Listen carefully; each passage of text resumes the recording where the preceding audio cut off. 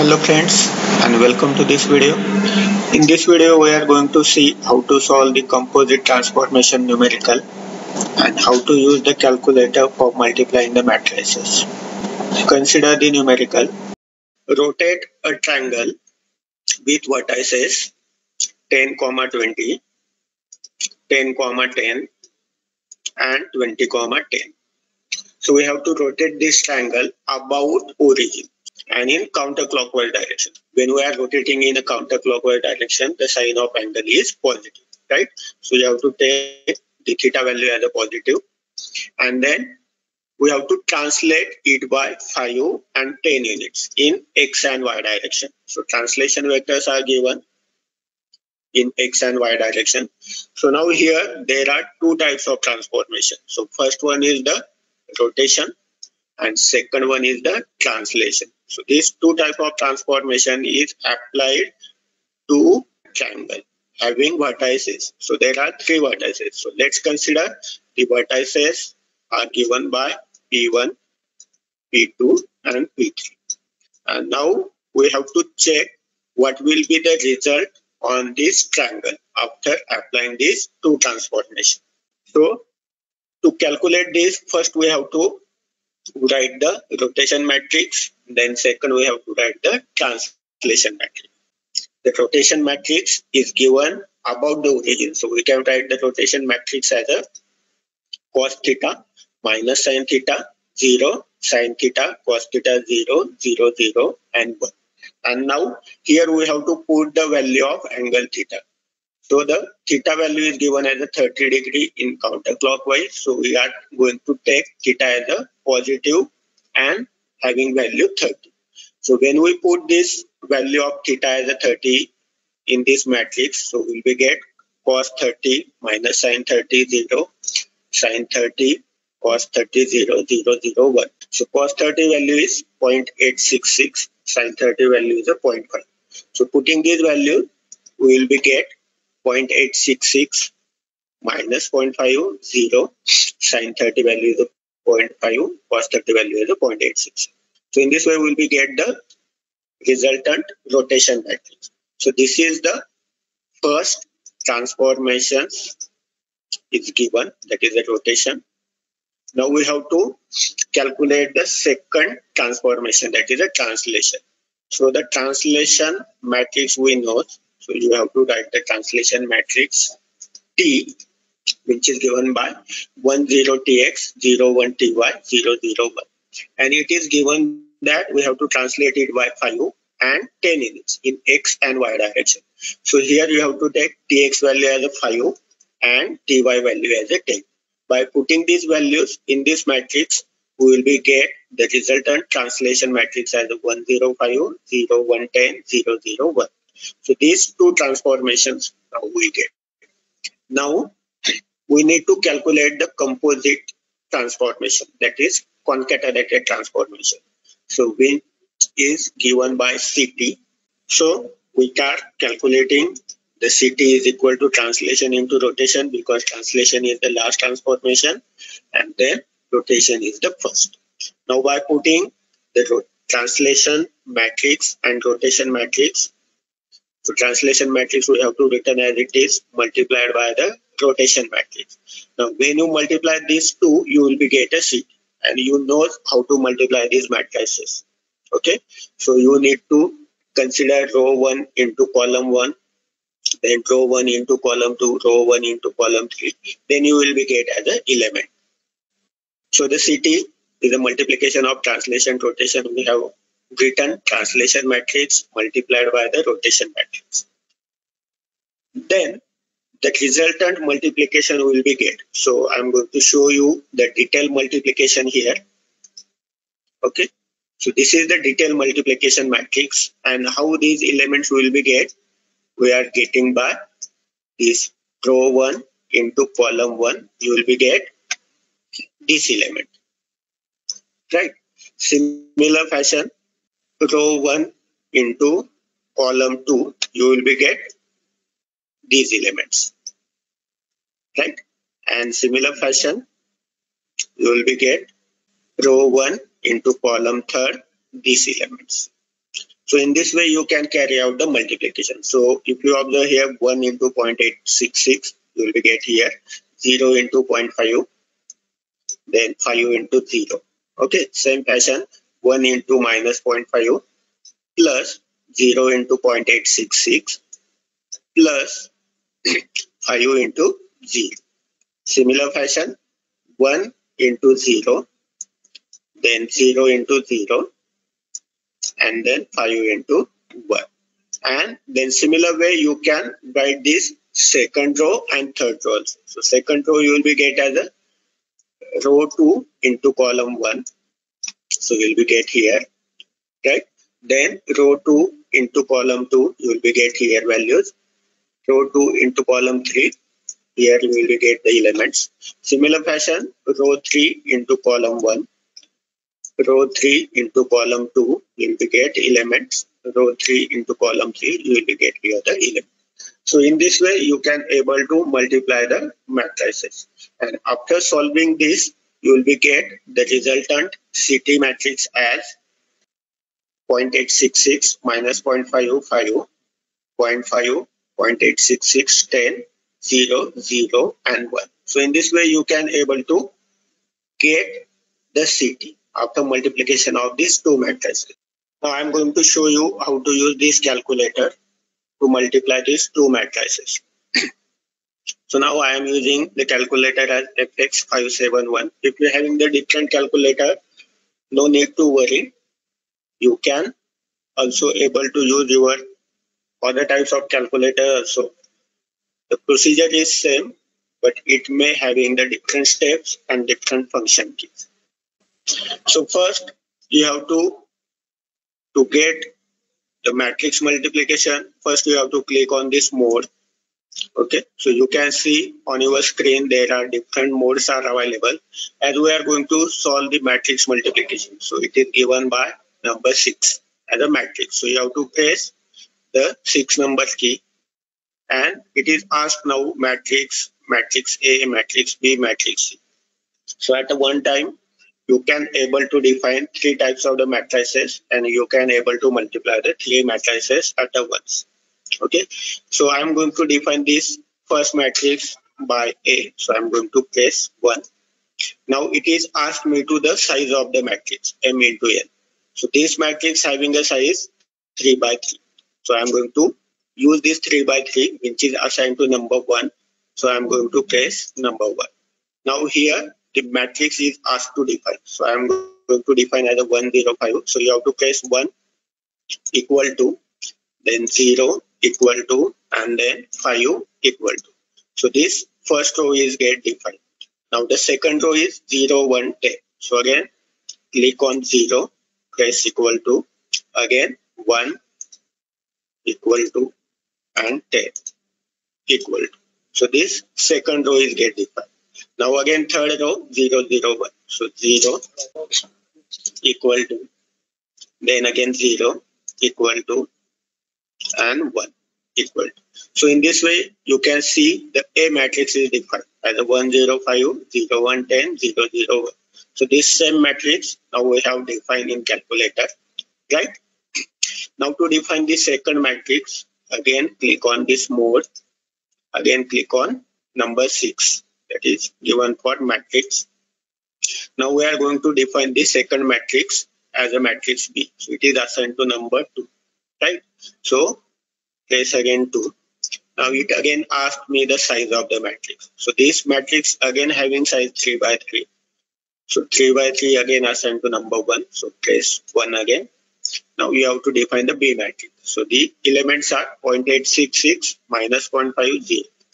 So place 0.866 then equal to here minus 0.5 so don't forget to use the sign also. So you have to write minus 0.5 then equal to and 0 0 equal. So you can see the first element is defined. 0.866 minus 0.50 right same fashion the second row we have to define 0.5 0.8660 so again press 0.5 equal to 0.866 equal to 0 equal to and then third row 0 0 1 so i'm pressing 0 equal to 0 equal to 1 equal to. So in this way the second matrix is get defined. So in this way you can define up to the three matrices likewise you can also able to define the c matrix also. Now the two matrices are defined so we are going to make the multiplication of these matrices. Okay so to make the multiplication click on this on icon. Now you can see on this calculator screen the matrix is defined by number 4 so you can see here the 4 matrix is assigned to a matrix so you have to press shift and then press the 4 number key so you can see on your screen calculator screen that 1 is assigned to dimension 2 data third matrix A, mat 4 is matrix B, 5 matrix C, 6 is matrix answers, 7 determinant and 8 for transition. So you can also able to calculate the determinant also and transpose also. But here we are going to multiply the matrices. So we have defined matrix A and matrix B. So matrix A is now assigned to number 3. So you have to press 3. Okay. Then as we have to carry out the multiplication. So press the multiplication symbol on your calculator. So you can see mat A into. Again, press shift and 4 number. And the matrix B is defined to number 4. So press again 4. So you can see here on your calculator screen there is mat A into mat B. That is a matrix A multiplied by matrix B. And to get the answer you need to press on equal to sign. So when I press on equal to sign, you will be get the result. So you can see the result as an answer 0.866 minus 0.55, 0.5, 0.866, 10, 0, 0, 1. And the same result we will be get here by manual calculation. So in this way, you can able to use the calculator for multiplication. Now we are going to find the new vertices of triangle a P1 dash, P2 dash and P3 dash. P1 dash can be found out by multiplying the CT with the original coordinates of P1. So we have already calculated the CT and P1 coordinates are given in the numerical as a 10, 20. So this third value we have used as a 1 because we are considering the homogeneous coordinate system. So remember this is not a z coordinate value, it is a homogeneous coordinate value and for simplicity we have considered it as a 1. So the P1 vertex will be written as 10, 20 and 1. So after multiplying these two matrices we will be get a P1 dash the two vertex of the triangle. And this multiplication again can be carried out using the calculator also. So we have already calculated this CT by multiplying the matrix A and matrix B. So by default, this answer is stored in the calculator as a matrix answer. And then we need to define this P1 as a new matrix and then we can easily able to multiply these two matrices using calculator. So let me show you multiplication using the calculator. Now our calc is already in matrix mode so we can directly press the shift button and the fourth number which is assigned for matrix. So you can see here the matrix answer is assigned to 6 number.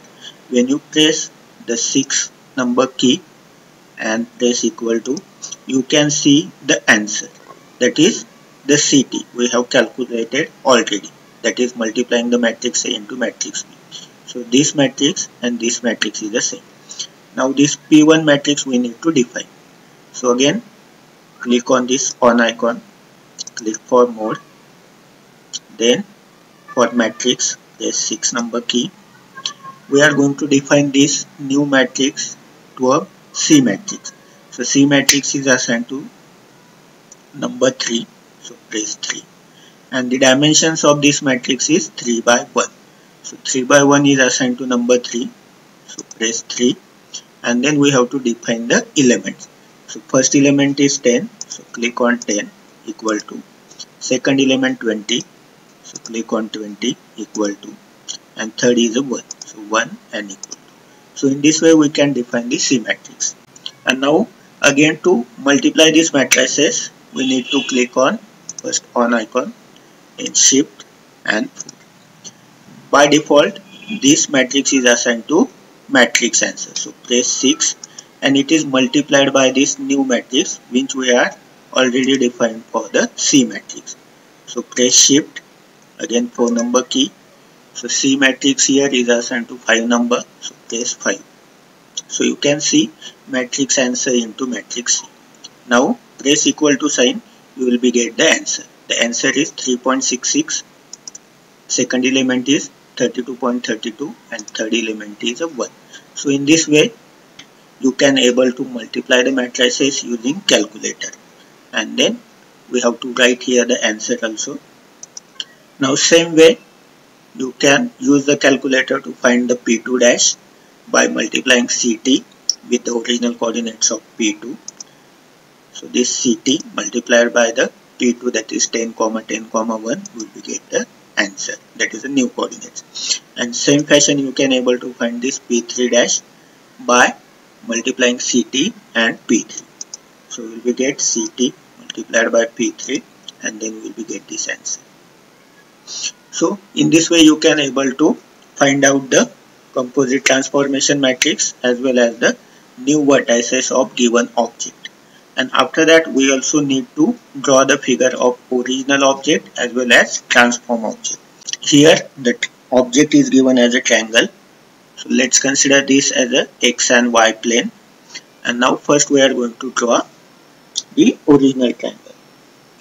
So the coordinates of original triangle are given as 10 comma 20 then 10 comma 10 so we consider this uh, coordinates as a 5 then 10 15 20 okay and so on. So I am not considering here as a scale. So first coordinates points are 10 comma 20 so consider here 10 and 20 so this is the p1 coordinates. Then second coordinates are 10 comma 10 so here we will be get as a 10 comma 10 so this is new coordinate eh, sorry original coordinates denoted by p2 and these third coordinates are 20 comma 10 so 20 comma 10 we can denote here. So this is the p3 coordinates. Now we are joining these three vertices by line. So we will be get as a original triangle right? Now we have to draw a triangle after the transformation. So after transformation we get 3.66 32.32 so maximum coordinates are 32 in y direction. So i am going to write here and so 1 as a 30 okay? Here you can consider 25 and then 30 so the first coordinates as a P1 dash are 3.66 and 32.32. So we are considering here 3.66 and 32.32. So this will be considered as a P1 dash. Okay. Second coordinates are 8.66 and 23.66. So 8 and 23 so 23 may be appear here right? So we are denoting this as a p2 dash. And third coordinates are 17.32 and 28.66 so 17 will be here and 28.66 so approximately the coordinates are here. So this is we get as a p3 dash. Now join these three new vertices again by using the line so you will be get this new triangle so this is the original triangle and this is the transform triangle by applying the rotations and then translation so in this way you can able to solve the composite transformation numericals as well as use the calculator to multiply the matrices. Thank you for watching. Have a nice day.